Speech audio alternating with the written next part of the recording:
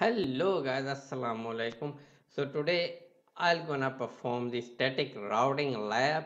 So as you can see, I've already set up my routers and the PCs. So I'll show you the configuration. So first, so we need to configure the router and for for that serial connection as you can see this is a serial connection between two router so we need we need to insert the correct module that we required. We need we need this serial connection uh, serial module you can insert it from from this from this bar. But first we need to turn off your router. So I'll I have already set up. So I'm I will not gonna do it right now. So I'll show you the configuration only here so as you can say I have set the static route and the whole configuration. So I'll first I'll show you the show running config.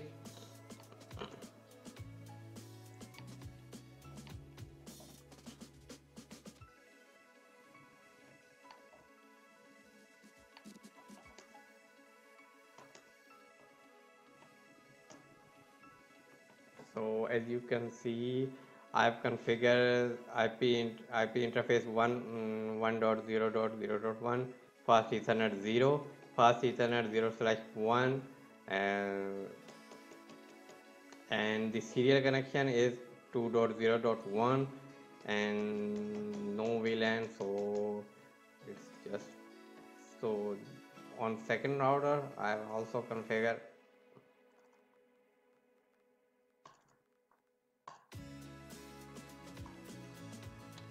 second router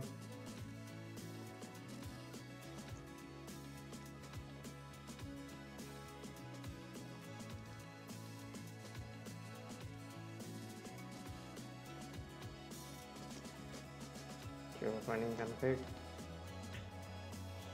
so you can say I have um, the IP address of fast ethernet 0 is 3.0.1 uh, according to our diagram as you can see this is our network diagram.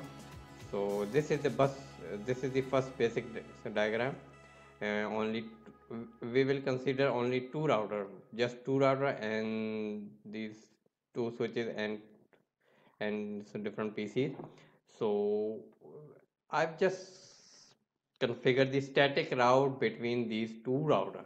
So we can ping this PC to this PC to 3.0.1.230 so I'll show you how we can do it.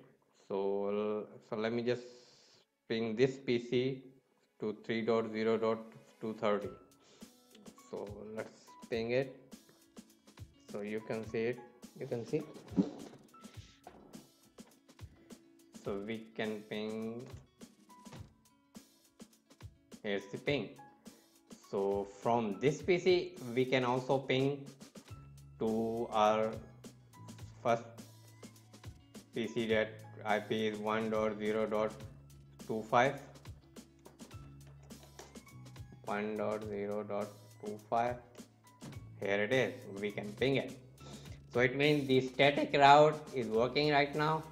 So, so let me just show you the configuration of the static route so all we just need to do put the static route. On on a router 1 on a router 1 we need to put the route for the router 2 and on a router 2 and we need to put the route for the router 0 as you can see this is the configuration. As 3.0.0 via this serial link. I put this IP 2.0.2 is a serial link between these two routers. On router 2, the static route is uh, the IP address of the router 1 via serial link of between these two routers is 0 slash 1 dot slash 0 so this is our static route between these two routers. So that's that's how we can create a static route between two routers